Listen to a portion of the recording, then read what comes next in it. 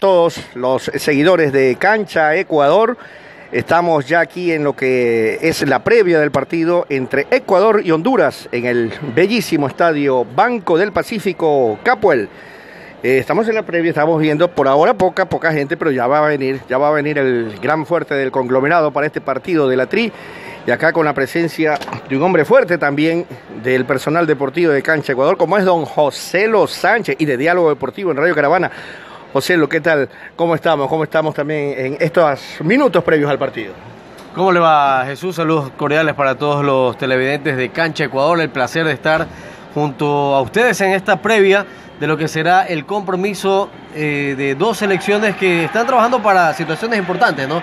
Ecuador eh, tratando de llegar en, en, buenas condiciones a lo que serán los partidos eliminatorias contra Paraguay en Asunción y contra Colombia en Quito en el próximo mes de marzo.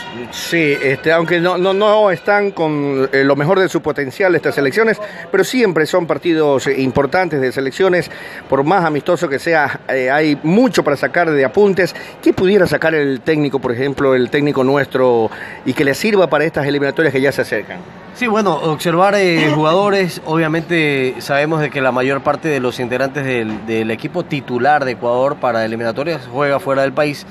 Pero por ejemplo está Esteban Dreher, que sabemos va a ser eh, titular eh, frente a Paraguay, frente a, Colombia, en el resto de partidos eliminatorias. Y pues por ahí observar otros elementos, ¿no? Pedro Quiñones, que podría ser titular también.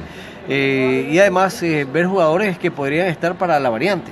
Quizás podría ser la primera variante o la segunda variante, o para ir observando jugadores jóvenes para esto sirve este tipo de partidos, Jesús. Sin lugar a dudas, sin lugar a dudas.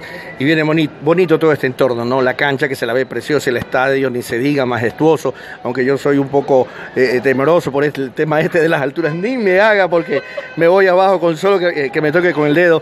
Pero es también la, la, primera experiencia en mi caso, usted ya estuvo en el partido anterior, eh, aquí en este escenario, el estadio Banco del Pacífico, porque no se olvide, Banco del Pacífico. ¿Cómo estás? Tu banco, banco, ahí está el hombre del banco también. Sí, efectivamente estuvimos en la reinauguración del, del estadio del estadio Capo del Banco del Pacífico y la verdad es que es, es una buena experiencia. ¿no? Hoy quizás no hay mucha gente, pero cuando se ha presentado el, el Club Sport MLE pues ha sido lleno total. Y eso quizás vamos a, a, extrañar en relación a los otros partidos que hemos visto en este estadio. Vamos a seguir compartiendo con la, con la gente. ¿Qué le parece? ¿Lo comprometo? Vamos, vamos, por supuesto. Muy bien. Aquí estamos, no se olvide, en canchaecuador.com. Visítenos. ¿ah?